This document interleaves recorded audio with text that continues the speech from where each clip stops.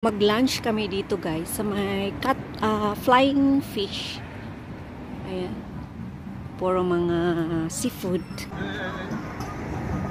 Parang ka-open lang nila. Fly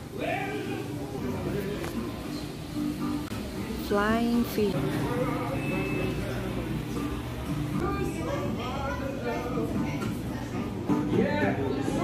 And orderin ko red snapper, grilled menu nila, mayroong snapper, tilapia, salmon.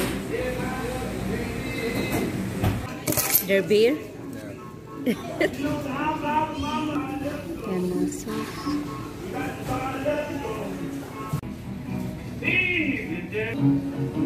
Ito yung lunch ko, uh, red snapper.